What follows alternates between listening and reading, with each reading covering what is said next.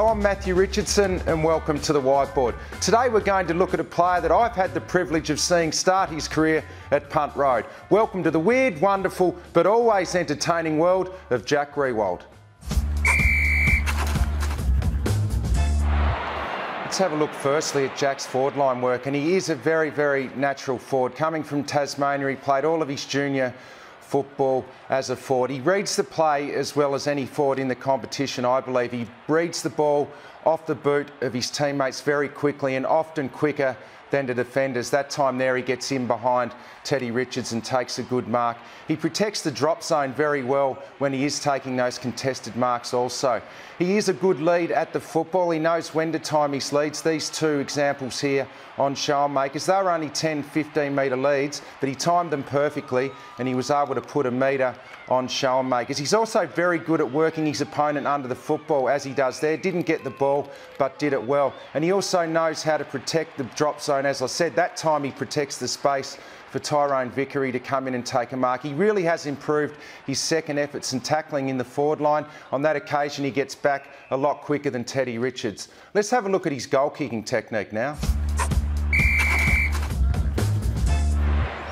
Let's have a look at his goal kicking. Jack is now a very, very good set shot at goal. He started this year a little bit inaccurately. I reckon that had a little bit to do with the five operations over the summer and he lost a bit of continuity with his goal kicking practice. But he does work extremely hard on this area. He's always in there on his day off with a bag of balls, having a lot of shots at goal. And he's not afraid to try different things. At one stage, he was having shots at goal with an iPod in to try and distract himself while he was having shots. It's a very natural run up. It's not a long run up, but he gets nice momentum through the ball. And as I said, he has become a really reliable shot at goal. Let's have a look now at the way he carries himself on the field.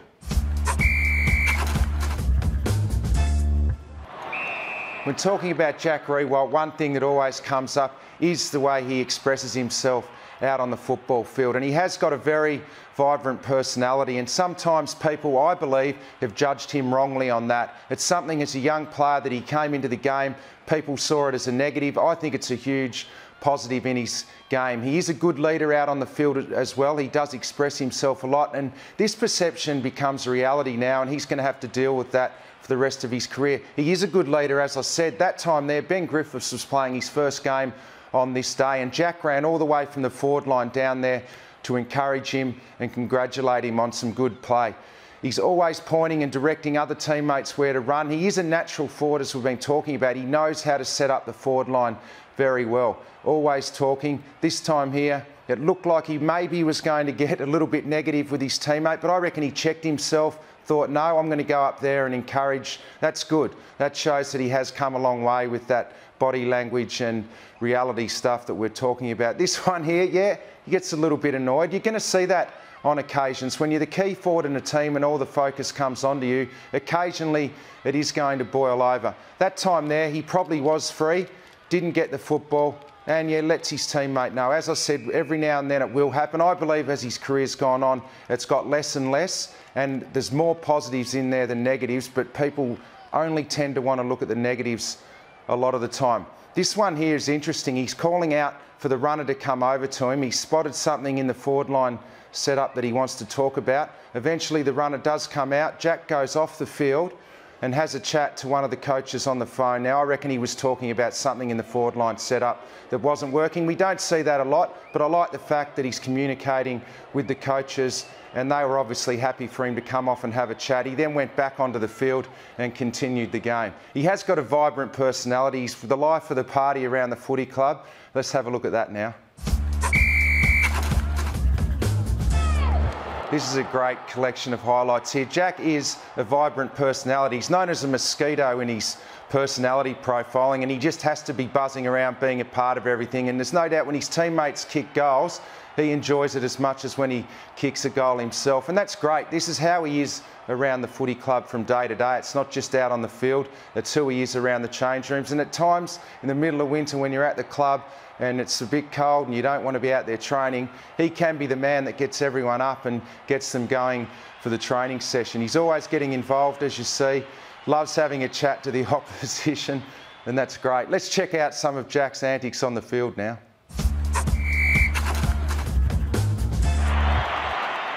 Jack loves to have a chat to the opposition out on the footy field, that's for sure. I think he plays better when he's getting involved and having a chat to the opposition. I think Marty Mattner's just made a blue there and Jack's letting him know about it. Marty's not too keen. Teddy Richards is saying, get away, Jack. Jack just wants to be a part of it. This one is funny, playing on Schoenmakers on this day. The old Grippo, Jack's forgot to put any Grippo on, so he's just borrowed a bit off Ryan there. Ryan's not too keen to get involved at all. I think he knows if he gets involved, he's probably not going to win this battle, so he stays out of it. And on day, this day against the Hawks, he thought, Schoenmakers stop talking to him, so I'm going to get involved with Sammy Mitchell the great Hawks champion. Sammy's always loved to chat on the field and he was always going to come back at Jack and this developed into a running battle for the whole day. Here we see Sammy Mitchell having a snap at goal, misses. That was just uh, just what Jack needed. So he uh, there he is mouthing off about him missing the shot at goal. Sammy then uh, gets involved in the next passage of play up on the wing, has a fumble out of bounds. That gives Jack more opportunity to have a bit of a go just to remind him that he's missed the shot. Sammy comes back at him. They were two characters there that loved to have a chat on the field, so he was always going to get involved in that. If I was playing on Jack, I probably wouldn't have a chat to him too much because he sort of enjoys it, and I think he plays his best footy when he's up and about like this out on the ground. That was really entertaining stuff. This one is amusing.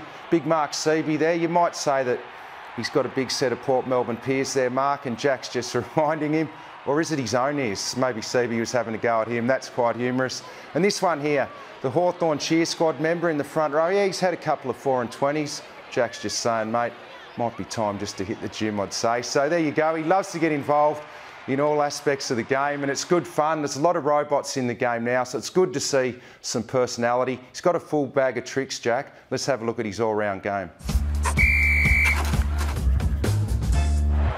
As one of the best forwards in the game, he has got a full bag of tricks, Jack. He's nearly six foot five, or he probably is in the old language, but he moves very, very well. He can do all of the tricks, the snap around the corner. He's playing his best footy when he's running and jumping at the football like this. When he does launch at the ball, I think he's just about the best uh, contested mark in the competition. He can sit on players' heads. There's no doubt about that. This one here, this was a day out against Hawthorn. He gets the Joe the Goose. You know you're having a good day when they fall into your hands at the top of the goal square, but that's because he can read the ball off a pack beautifully. This one here, this is sensational play. Very good at ground level. He always plays well in the wet, and that was unbelievable. He socketed the ball once out in front of himself. As we have a look at another angle of it here, socketed it with the right foot first, then bang with the left foot, kicked it in to marriage. Jack is one of those players that bring people into the gates. Punters love to watch him because you know you're going to see a full bag of tricks. He's up against the Giants this week. How do they stop him? Well, don't bother having a chat with him. He'll probably enjoy that. It'll get his excitement levels up and get him involved in the game.